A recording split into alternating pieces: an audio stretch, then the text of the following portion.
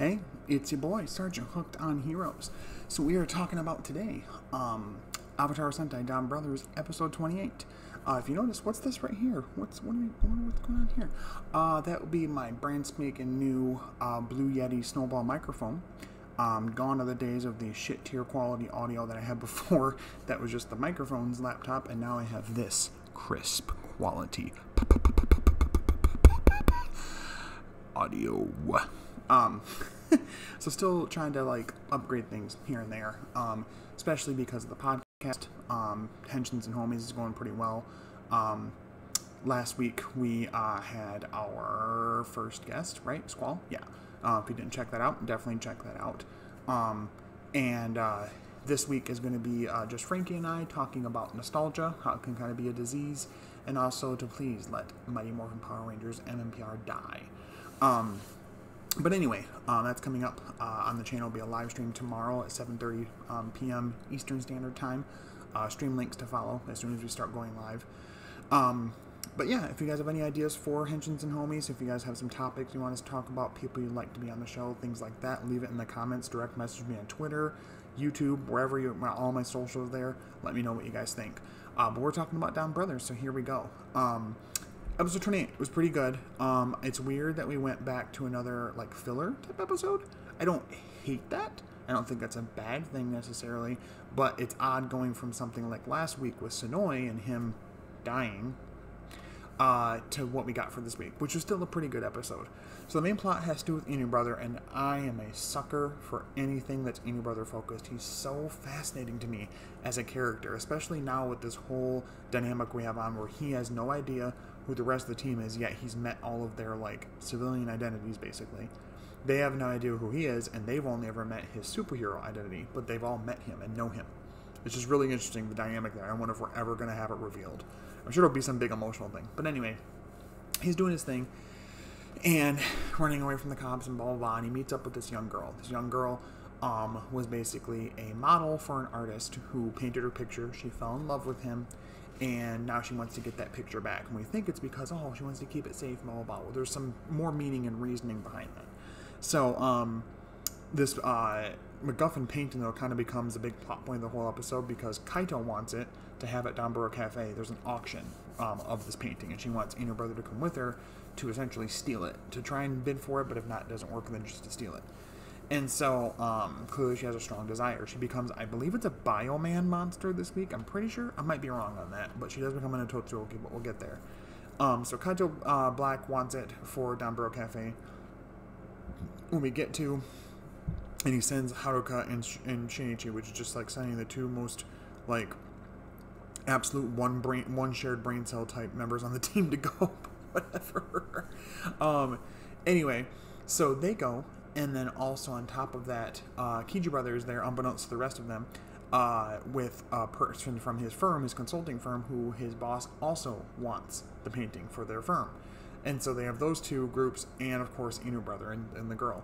And so it's this back and forth of trying to outbid each other, and randomly Haruka tries to bid um, 9 million kibidango, like the one little treats that um, Momotaro was eating in one of the episodes a few, a few like a while back.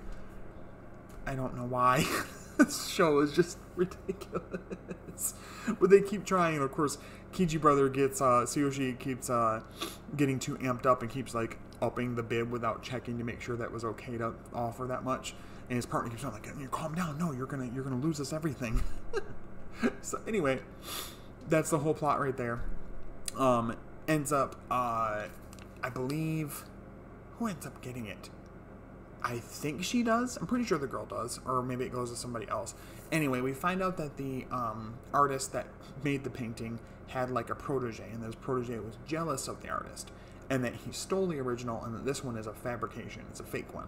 So she goes in there as a Totsuki, she takes it, and um, we find out that she actually has somewhat control over her Totsuki form, and that she doesn't um, necessarily like she can hold herself back from hurting people, which is really interesting to see. This these random little you know, Monsters of the Week episodes where all of a sudden the person has some direct control over their monster form. It's really interesting, and I really like it overall. Um, so yeah, so that's really good stuff. Um, uh, let's see here. then the protege guy hires Haruka and Shinichi to protect him um, and the painting or whatever. Because I think somebody else wins. I want to say somebody else there, maybe Kiji brother, whatever. Um, and so she goes and then steals it, and they're like, uh, like I think Shinichi's asleep, Haruka's not paying attention, and so they go after her because she, they say she's in Hitotsuki. And actually, this episode starts like in media res, in medias res, with them um, chasing down Inu brother, and he's helping the monster. Now we know why. He's helping her get the painting because he really does believe that she really wants it, and she wants it for a good reason. She kind of does. It reveals throughout the episode that as she was working with this painter, she started falling in love with him, and, and that he kind of reveals similar feelings, but that she he's she's not sure if he actually was in love with her or if he was in love with the idea of painting her. So it's kind of a weird, goofy thing, but I mean, it's still like a fun, interesting concept to work with for an episode, and it still worked for the most part. And honestly, it kind of reflected a lot of things that I think Sonoi and um, Taro were starting to get to with their relationship. They're so gay. They're so absolutely gay, and that's okay. But god dang it, Toei, just let them be gay. um, so, uh, Brother initially fights off the team to protect the girl and the painting, right? And then he sees that she's starting to be too overtaken by her desire, so he helps the team defeat her. Um, it's mainly, um, uh, what is it? Um, Don Dragoku, and, or actually Don Torabolt and Momotaro that do their you know final attacks to destroy it. Becomes big, and we finally get the debut of Toradora Onitaijin. So this is the full team Gatai, and I kind of like it. It's kind of a clusterfuck, but it's a clean clusterfuck if that makes sense. Like it's got all the parts of everybody connected and everything. And it's funny because everybody talks when they you know when they make the Gatai, right? and it's funny because they each um, again are talking about they're excited and they think they're going to be a different part on the on the robot and they're not oh i oh i hope i'm not the arms again i bet i'll be something to, oh i'm just not and then Kiji brother is like oh yeah cool or i'm, I'm a leg or whatever then Kiji brother's like cool hopefully i'm uh, i'm on the shoulders so it's this nice little touch. Before this, we also got a bit of a ground fight with them, where they do like the ground fights with the mecha. So we got to see Toradora um, Dragonjin and Don Onitaijin together ground fight version. So I thought that was pretty cool. Um, so yeah, it was overall really cool. Um, they end up, you know, creating the combined mecha. You know, like I said, Toradora Onitaijin, and defeating the Ototsukouki. And it reveals near the end that she always knew it was a forgery. She wanted to burn it and the original to kind of push away the memory of, of this painter and that um, she wanted to kind of just keep it pure and like she did have feelings for him but like she just wants to kind of move on and blah blah blah and what have you i think it revealed something about he died too i think so that was part of it too was wanting to like seal away his memory pretty much um yeah, the final attack the uh, mecha does is Danburo Fantasia, and it's all of them working together, like an attack from each one of them coming in and just gobsmacking the Hitotsuki and destroying it. So that was really cool. Um, uh, she was asked to, that's what it was. The girl actually was asked to burn the original by the artist. That was what he, like, he's like, if I, if I, I might be, I might, you know, one, one day might not be around anymore.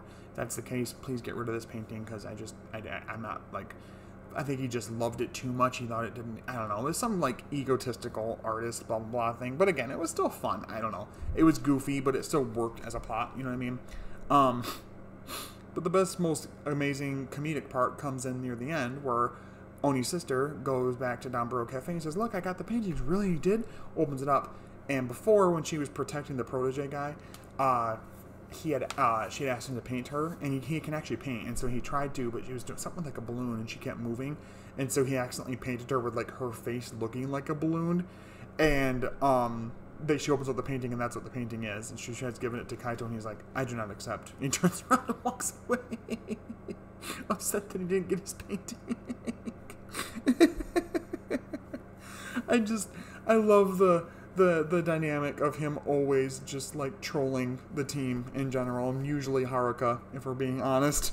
Um, yeah, so uh, next week looks really interesting. We seem to be getting a funeral for Sonoi, and also on top of that, we're also getting um, uh, some more Don Murasame. He seems to be talking back and forth with Feral Jiro, like Torabolt Jiro, and there's something in the like promo about like mother why am i do i feel drawn to this to jiro or to this other you know person or whatever um and i want to say something that looked like they had the armor of sonoi on so i wonder if he's being like kind of resurrected, but in like a zombie state or something. I don't really know. Um, and also we see the Ninjark sword, which is the sword that Murasame uses. Um, the rest of the team is being like possessed by it, like it's going to each one of them, and as soon as they touch it, it like possesses them. So really interesting. We're getting some more on him. I'm, I'm really happy about that because I like how even the show poked fun at the fact that they know nothing about Murasame and a few other things, and now we're starting to get that. So very, I love it's very on the nose. Um, but anyway, overall, a really good episode. Um, I probably would give it probably closer to like an eight and a half ish out of ten, only because it was a bit more of like a lighter episode, and I was expecting a bit more because of how heavy last week was.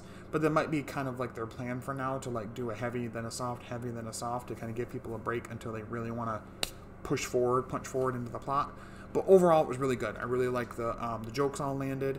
The character work was great. Dialogue was good. Story was good. The fight choreography was great. Transformations. I would like to see more of the avatar changes, more more um, happening more consistently. But for the most part, I really enjoy the show, and it's it's still definitely holding its place as one of my favorite Sentai. Absolutely one of my favorites. Um, but that'll do it for today's episode. But let me know in the comments below what did you guys think of this week's episode. Love it, hate it, in the middle, whatever. Favorite moments, favorite jokes, things like that. Um, what are your theories going forward on Murasame and all the other mysteries within the show? Um, I love to read about those, and you guys have your different comments in there. Not a ton of comments all the time. I, I mean, I can't make a comment, uh, but uh, I can thank you guys for subscribing, for liking, for watching the video, all that good stuff. And as always, stay hooked on Henshins. And I, or not Henshins, oh my god, stay hooked on Heroes. I will talk to you later. Bye bye. Don don don ba don don don don ba going don don don ba Stop the